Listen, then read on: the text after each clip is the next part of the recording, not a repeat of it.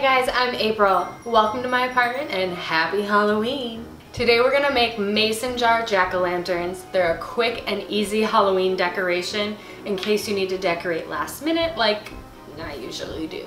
And they're also apartment friendly. Before we get started, make sure you like and subscribe and turn on the bell so you get notified when I have more DIYs coming out like this. Let's get started. After you've washed your mason jars with soap and water, you want to give them a rub down with rubbing alcohol just to remove any extra oils that might be on the glass. Getting all of these oils off the outside of your jar will make sure your paint adheres better to the glass. There's different methods you can use to make these lanterns and I'm going to show you four different ways with four different characters. The first one is going to be Frankenstein. With this method, we're just going to take some neon green acrylic paint and paint the outside of our jar.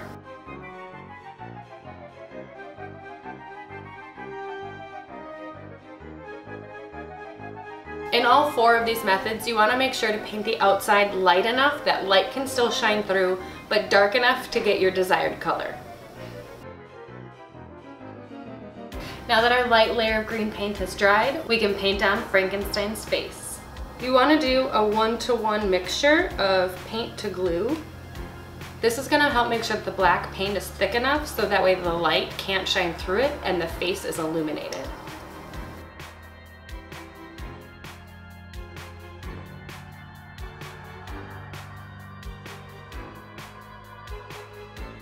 Now that we have his face painted on, turn on a light, drop it in, and put the lid on.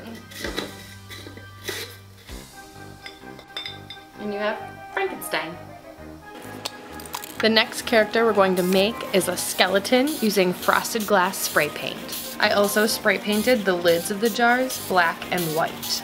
Now that our jar for the skeleton has been frosted, we're going to paint on the face.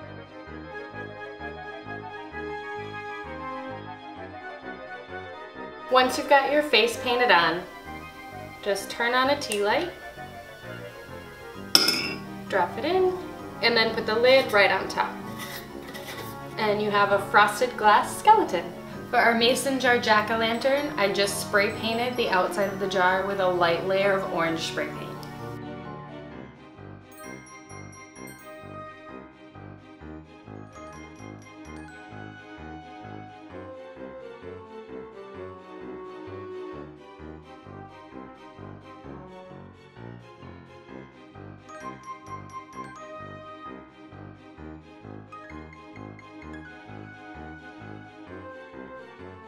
Turn on a tea light, drop it in the jar, and put the lid on.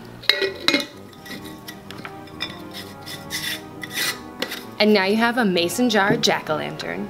Our last mason jar is going to be a mummy, and so we're going to decoupage the outside to give it that torn, decayed cloth look. But first, we need to paint on his eyes. The first thing you need to do to decoupage the mummy mason jar is rip up strips of white tissue paper. They can be all different sizes and lengths as this will add to the mummy effect. What you're going to do is take a foam brush, dip it in some Elmer's glue,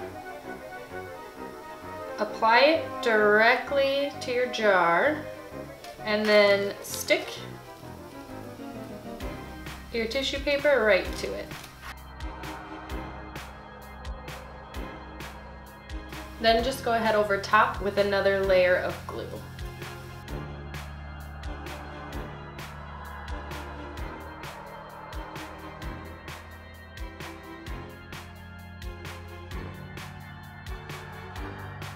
The last thing we're gonna do for our mummy is glue some of this stringy gauze-like fabric around the jar to make it look even more mummy-ish.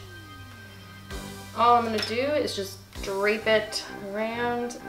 I'm just gonna go over this with a little bit of glue to help hold the string down because we definitely don't want our mummy to unravel. Now that we have the string glued on, just turn on a light, drop it in, and close it up. And here's our mummy mason jar lantern.